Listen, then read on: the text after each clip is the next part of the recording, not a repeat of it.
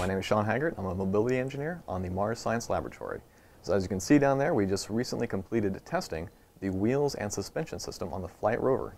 Now the mobility system might look familiar. It's a classic rocker bogie suspension system that we've used for the last two generations of Mars rovers.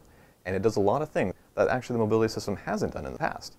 So for this mission, the mobility system not only drives the rover around, it's also the landing gear. The wheels are actually the first thing that make contact with the surface of Mars.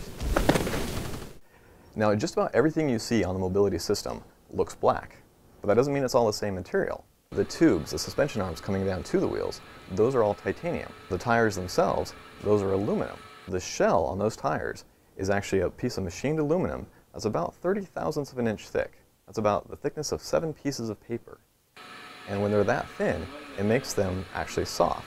And so they behave in much the way that a rubber tire would behave and give you that springy load uh, for, for landing for driving over rocks. This test was sort of an obstacle course for the rover because we have to drive over obstacles of certain heights. And those correspond to rocks of certain heights that we expect to see on the surface of Mars.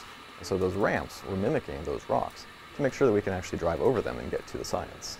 Now you notice that it's six-wheel drive and all four corner wheels steer. Now those wheels can steer plus or minus 90 degrees. And what that allows you to do is actually position the wheels, kind of toe in, and turn the rover in place.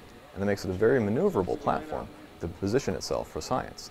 Now what you, what you saw in that test was actually top speed of the rover, about 4 centimeters per second. Or to put it another way, it takes about 40 minutes to go the length of a football field. We want to go slow, because when you're 50 million miles away from the nearest service station, it's okay to go a little slow and be a little careful. My name is Sean Haggart. This has been your Building Curiosity Update.